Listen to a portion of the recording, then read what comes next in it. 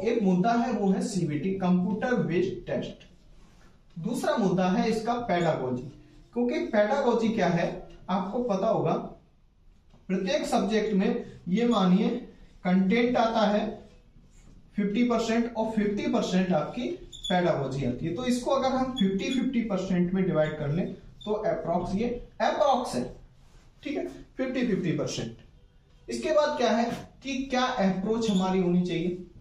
ठीक है? जिससे आप मैक्सिमम नंबर्स आप गेन कर सकें।